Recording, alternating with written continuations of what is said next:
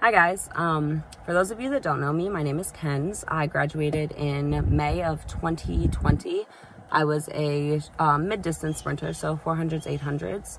And Shed just asked me to come on here and talk to you guys about a concept that we implemented on our basketball team my senior year that ended up working really, really phenomenally. Um, the concept is just called numbers, and there's a million ways that you can do that, so I'm just going to explain how we did it and then take it and run. Essentially, all you do is meet up at the beginning of practice, and this can be either in a larger group or I know that we have individualized workout plans based on our events. So it could also be with your smaller um, event group that you're going to be working out with.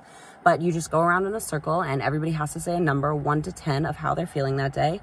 And that can be mentally, emotionally, physically, spiritually, all kind of um, encompassed into one thing. And if your number is less than five, you have to explain why. And so, um, say you have a really tough week coming up, you have a million exams and papers and things going on. And so you're really just like not feeling that Tuesday practice and you just need a little bit of extra help to get through it. At the beginning of practice, you would just say, Hey, I'm feeling maybe a two today. Um, and it's because I have all of these exams, this paper coming up, XYZ. But it's just like a really good way to check in and let your teammates know, hey, I have a bunch of external things going on, and that's I'm gonna need a little bit more support today at practice.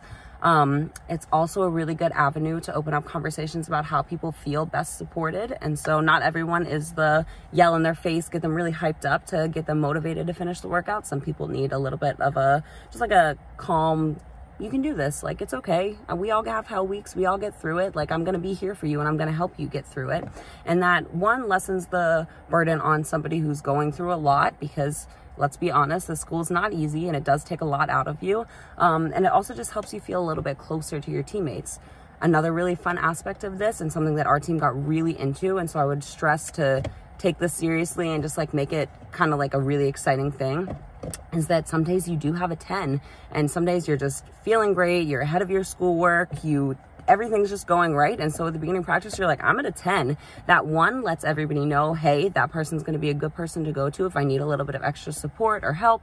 And it also just boosts the whole mood. Like when one person's out of 10, the whole mood gets lifted a little bit. The other cool concept about this is that it doesn't need to always be an upperclassman leading a lowerclassman. And so upperclassmen, we have really tough days too, um, especially as you're getting closer to graduation and just in some of your higher level, harder classes. And so it might take a little bit more out of you than it would somebody who's has maybe like just kind of getting into it a little bit easier of a workload.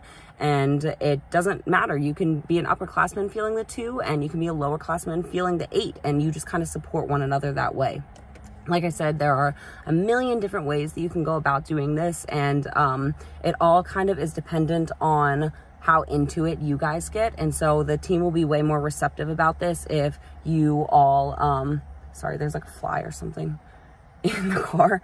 Um, but the team will be way more receptive about it if you guys are the ones that present this concept to them. And I think that's part of the reason Shed wanted me to talk to you guys about it because um, this wasn't something that really our coach came up with. It was our team as a unit came up with it. And it ended up working really phenomenally with you guys. Um, for those of you that are on the team that I do still know, I would be more than happy to talk to any of you guys about any of those types of things, ways to implement it, different ideas of what we did on our basketball team that works super well. Um, so I think a lot of you have my number, and if not any of my social media, please free feel free to reach out to me. Um, but yeah, it's just, it's called numbers. It's super easy thing, but can become something that's really, really fun. So I hope you guys enjoy it. I hope that it helps the whole team and good luck this season. I hope to see how you guys do.